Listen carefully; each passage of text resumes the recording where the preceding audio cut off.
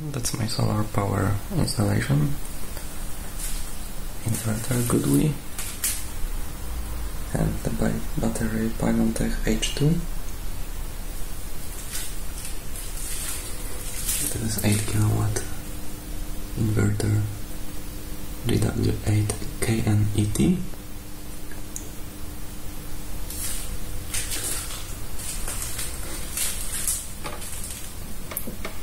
This connection to grid. Now it's turned off. And this is smart meter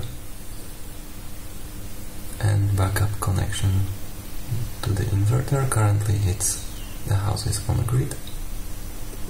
So we have bypass on inverter and battery Pylontech H2 two modules 7.1 kilowatt hour.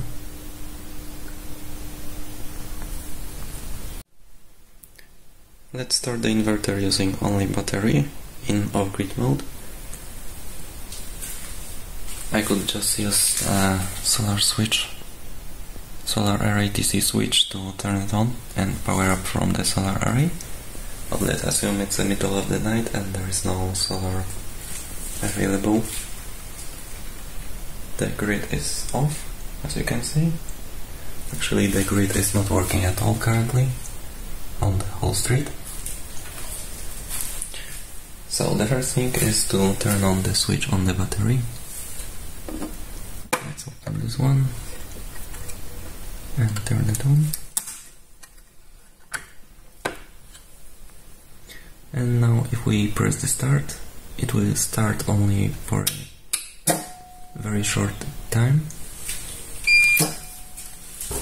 It will beep and in a while it will show that there is no communication with BMS and, uh, in the inverter.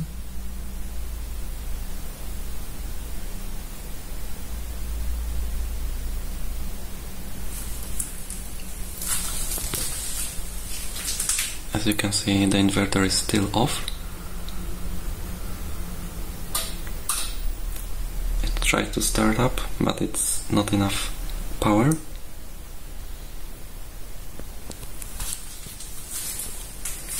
Now let's see the battery status. And as you can see the status light is orange which means there is no BMS communication. So we need to fire up the battery in the black start mode when it closes the relays for 10 minutes and it gives time for the inverter to start up. To do this we need to hold the start button for about 10 seconds until we hear relays closed.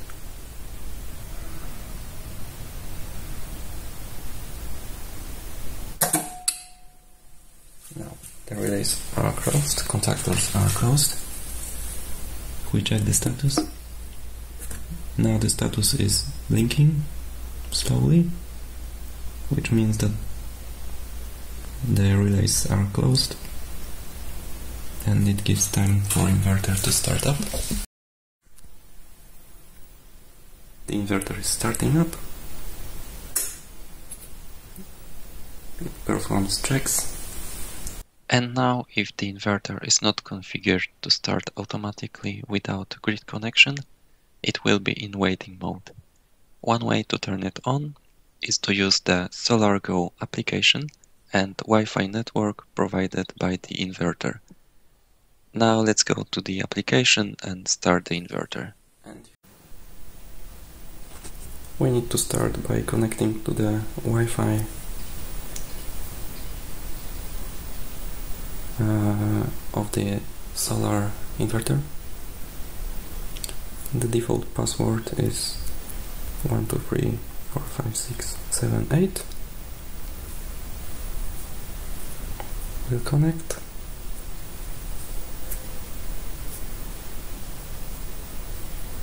And now force the phone to actually use this without internet connection. And now we'll go to the application SolarGo. And here you can see our inverter. We can connect to it.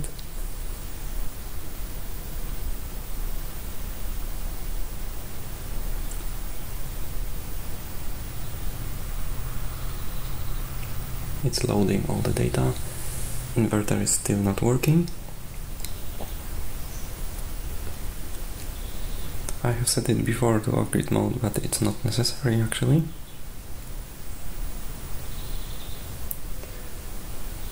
And now as you can see the status is waiting mode. We take only power from uh, I lost the Wi-Fi connection.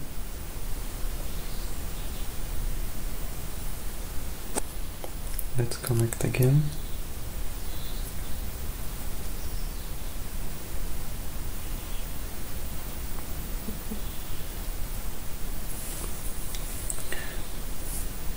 and now we need to fire it up uh, using basic settings backup and we need to first cold start from off-grid you can set this cold start holding to automatically start the inverter every time it's uh, turned on in the off-grid mode. So we need to press first cold start and now the inverter starts to fire up. As you can see now the status starts to blink and the inverter is starting up.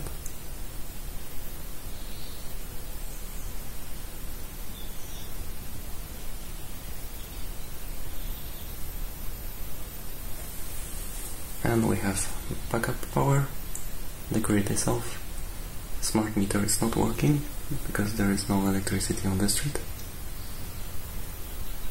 We have the battery status and we can also check the status on the battery itself.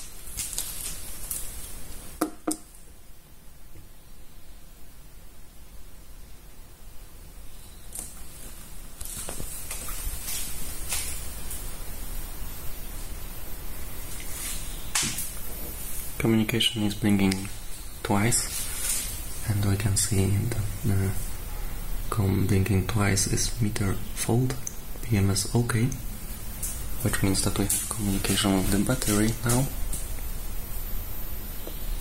And we can also start up the solar grid if there is solar using the DC switch. And now if there is solar power it will charge the battery the battery is now solid state which means that the battery is charging. It was blinking before which means it was discharging.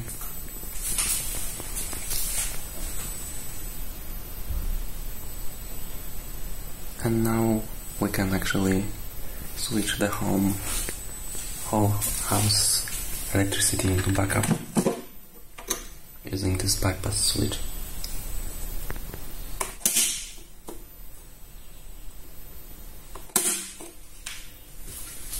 and we have power from the inverter now.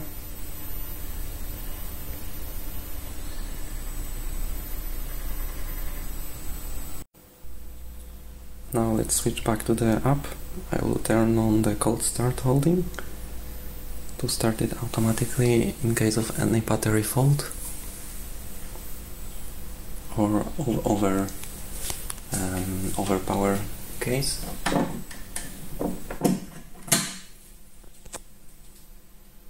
go back to status. Let's wait for the refresh. Now the status is off grid. We are taking solar power. The battery is almost full